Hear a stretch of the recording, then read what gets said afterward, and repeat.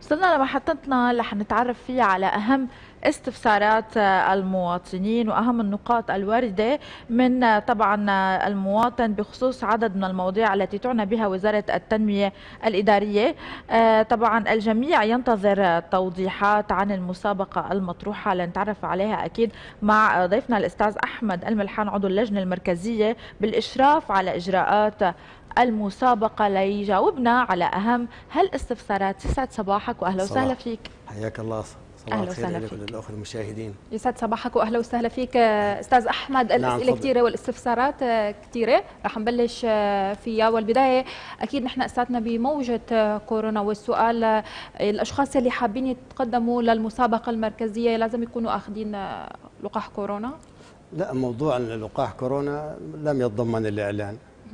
أما حول الإجراءات فكل محافظة لديها إجراءات خاصة ب موضوع دخول آه، المتسابقين.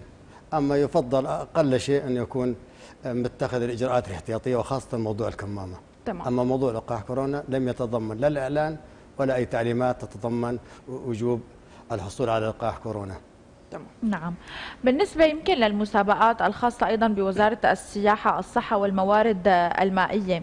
هل توقفت رسميا؟ كل العام موضوع المسابقات جميع المسابقات التي كانت معلن عنها سابقا توقفت. والآن أصبح لدي مسابقة منظمة بموجب قرار مجزرة رقم 81 لعام 2020 وقرار وزارة التنمية رقم 7 إذا هذه المسابقات توقفت بحكم وجود مسابقات جديدة.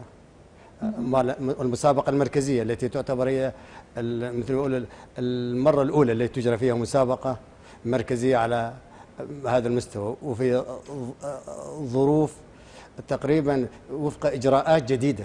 هالإجراءات الجديدة لم تكن تتضمنها المسابقات السابقة. إذا توقفت جميع المسابقات السابقة. نعم.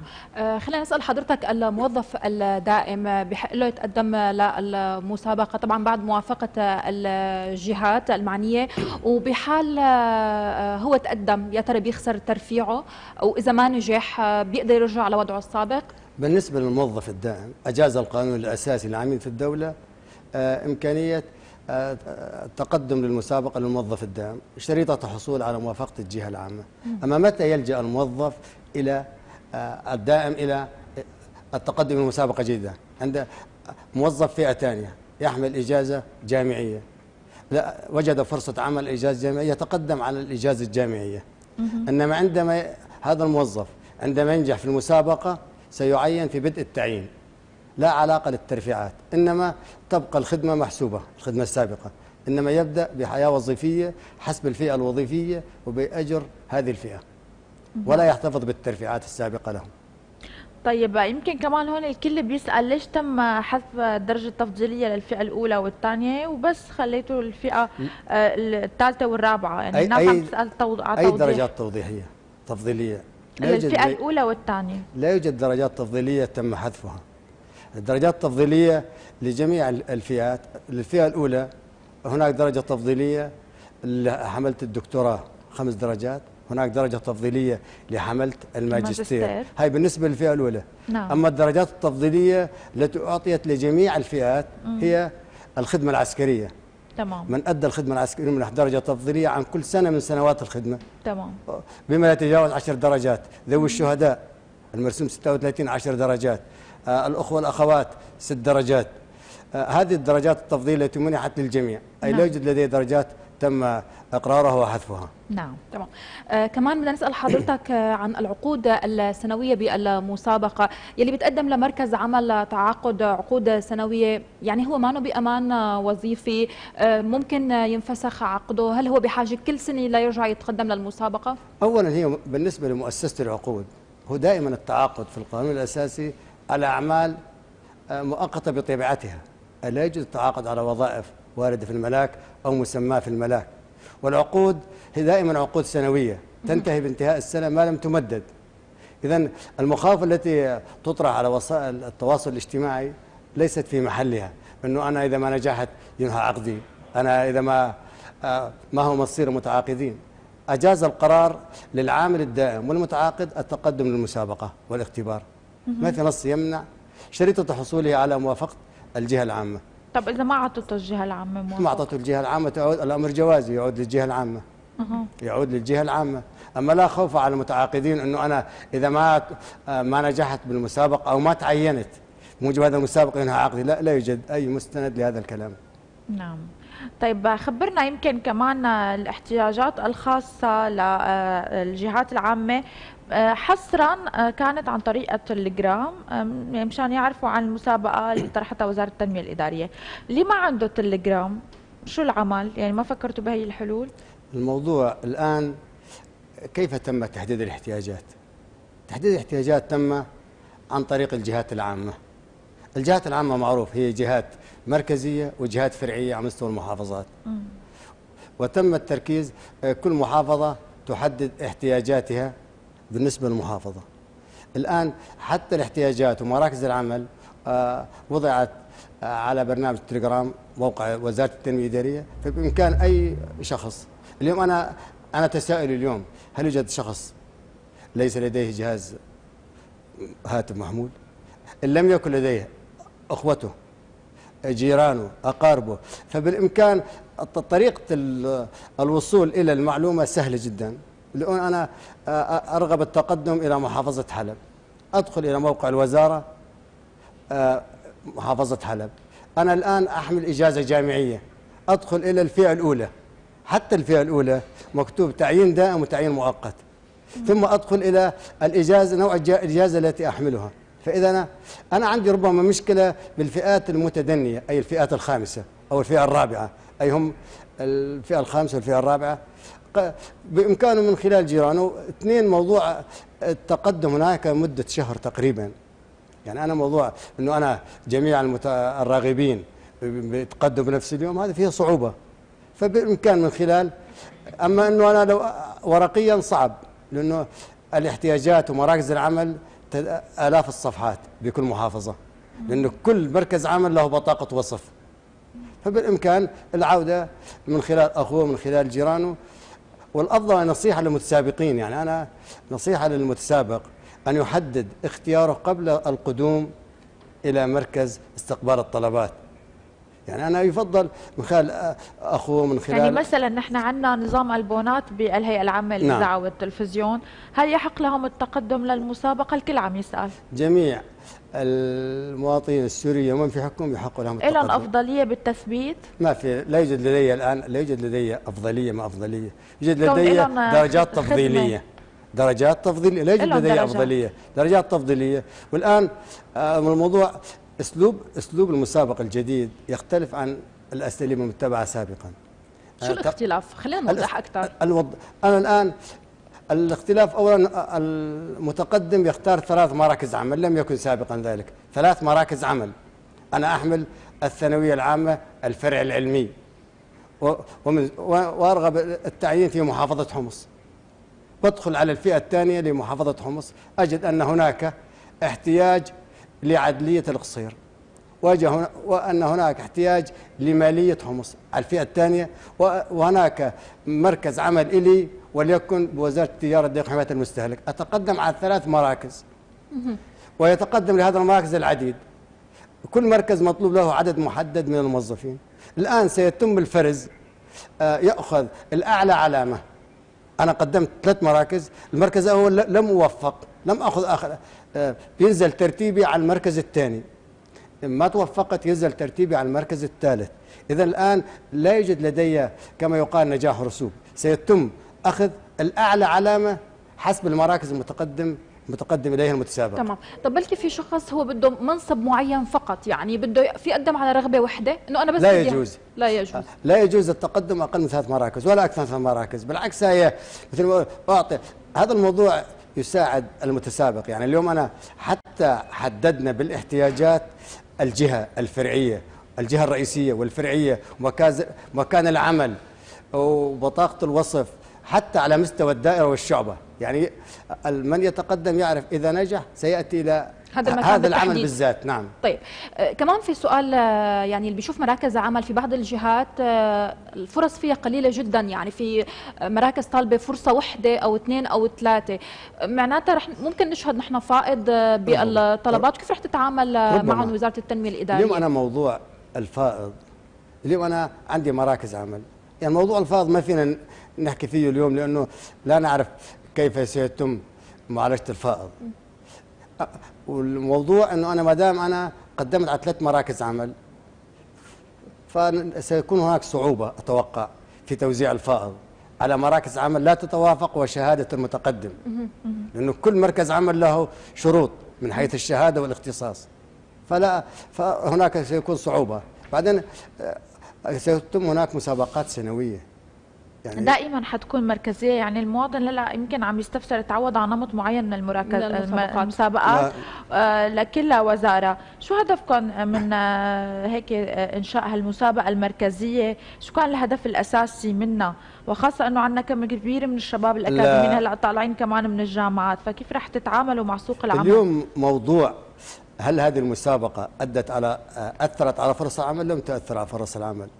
بالعكس يعني الاحتياجات تمت وفق دراسات دقيقة من قبل الجهات العامة. أما ما كان يتم سابقا ولو حكينا على عام 2009 أو 2008 أنا باعتباري آه، وكيل جهاز منذ أكثر من 15 عاما أنه كان سابقا في العام يتم أكثر من 100 مسابقة أو اختبار أو 200 مسابقة. أحيانا نجري مسابقة لتعيين شخص واحد. فكانت هناك صعوبة.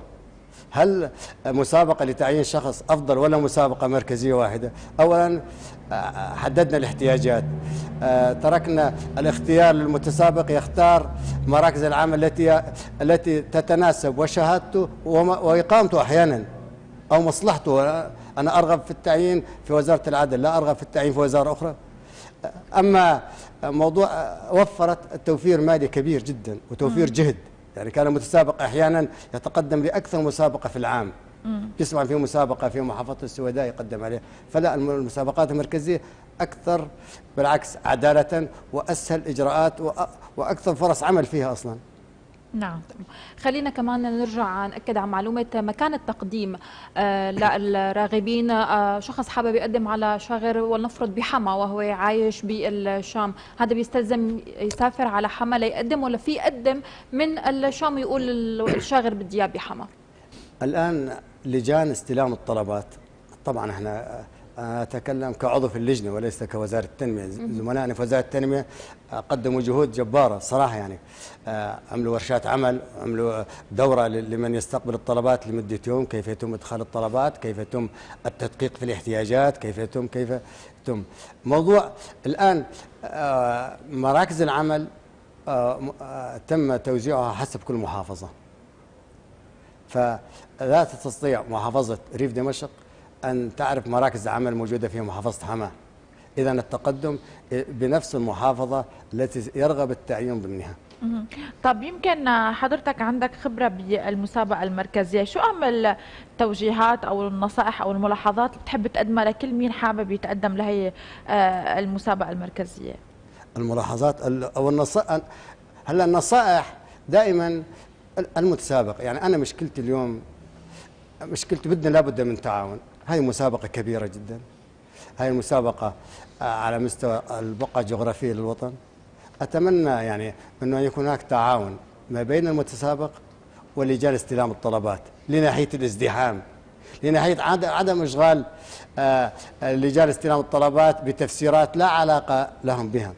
لجان استلام الطلبات لديهم مراكز العمل ولديهم آه، بطاقات الوصف الوظيفي وشروط إشغال هذه. ليس لديهم أكثر من ذلك. أما لا أتي وأسأله لماذا ما حددت لماذا؟ فيفضل أنه أن يكون مطلع على مراكز العمل ومطلع على الاحتياجات وعدد مراكز العمل لكل وظيفة. طبعا اليوم أنا هناك مراكز عمل تحتاج موظف واحد وهناك مراكز عمل تحتاج عدد من الموظفين. اثنين يجب أن يميز المتسابق بين التعيين الدائم والمؤقت والاستخدام المؤقت. يعني يفضل إنه أنا بختار هل أنا بدي تعيين دائم ولا مؤقت. فيختار العمل الذي يرغب يفضل إنه يكون عنده وعي. أهم شيء يكون عنده وعي آه، على أي مركز عمل يتقدم إليه. نعم.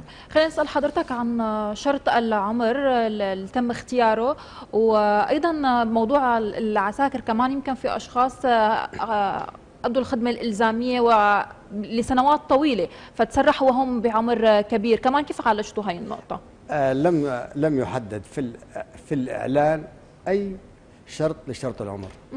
فمقبول التقدم آه، بجميع الأعمار. باستثناء بعض آه الأعمال مراكز العمل أو الوظائف ذات الطبيعة الخاصة مثل آه جنود الأطفاء والسائقين. حيث نعود إلى القوانين الناظمة لعمل جنود الأطفاء بما يتجاوز 35 عاما. أو أما إذا لا يوجد شروط خاصة فلا يوجد تحديد لموضوع العمر. لا يوجد أي تحديد لموضوع العمر. نعم. طب والمؤجل دراسيا بحق له التقدم لا, لا. لا يحق له التقدم آه التقدم. لمن أدى الخدمة العسكرية أو الموجود في الخدمة أو المعفي منها مم. سواء إعفاء صحي أو وحيد. نعم. نعم. هؤلاء المسموح لهم التقدم. نعم. خلينا نرجع كمان بموضوع العساكر اللي هن آه، قائمين بعدهم آه، على آه، رأس عملهم بحاجة بيان وضع لمين بيقدموا هي الورقة للجهة المعنية للمحافظة ولا ولا وزارة التنمية الإدارية؟ لا لا ليس وزارة التنمية الإدارية. موضوع الأخوة الموجودين في الخدمة أو اللي أدوا الخدمة هي وثيقة تقدم مع طلب الاشتراك. نعم. للجنة استلام الطلبات. لا علاقة من ضمن من ضمن الأوراق الثبوتية لأن هناك علامة تفضيلية على مدد الخدمة العسكرية. إذا تقدم إلى لجنة استلام الطلبات. نعم. آه أيضا هل يجوز الجمع بين شاغرين بنفس المحافظة؟ شاغرين؟ مم. يجوز. إحنا الآن نتكلم عن مركز عمل هو ليس شاغر. مم. يجوز الجمع بين ثلاث مراكز عمل وليس شاغرين. تمام. بين ثلاث مراكز عمل. شرط أن تكون هذه المراكز تتوافق والمؤهل العلمي أو الاختصاص المهني لصاحب العلاقة. نعم. نعم. آه خلينا ناخذ من حضرتك هيك أرقام عامة إذا بدنا نقول آه يعني الشباب والصبايا ناطرين هاي المسابقة المركزية من زمان آه كثير آه فخلينا نحكي عن عدد الشواغر والاحتياجات آه العامة آه شو هي؟ وبرأيك ممكن تكفي أعداد المتقدمين أم لا؟ موضوع الأعداد ليس لدي المعلومة. الأعداد بشكل دقيق. لأنه موضوع آه، الجهات العامة حددت الاحتياجات تمت دراسة الاحتياجات مع مع اللجنة مع اللجنة إشراف المركزية وبحضور آه، دائما كان يحضر مدير التنمية ومعاون الوزير المختص. نعم. وتم أحيانا إعادة النظر ببعض الأعداد. الأعداد لا أستطيع أن أعطي بشكل دقيق. إنما أتوقع تتجاوز السبعين ألف. أتوقع. نعم. نحن نتمنى التوفيق لكل مين بده يتقدم على المسابقة المركزية. وأيضا بنتمنى تحقق المسابقة المركزية هدفها آه، يعني بهيك تجميع الوظائف بمسابقة نعم، واحدة. نعم. وأيضا تكون تجربة ناجحة تعاد سنويا وتلافي الأخطاء اللي فيها وإذا كان فيها إيجابية تعزز. شكرا لوجودك معنا. كل الشكر لك. الله يبارك فيك. شكرا لكم. شكرا لك شكرا كثير لك ولكل الإجابات اللي قدمتنا إياها. الله يبارك. شكرا لكم.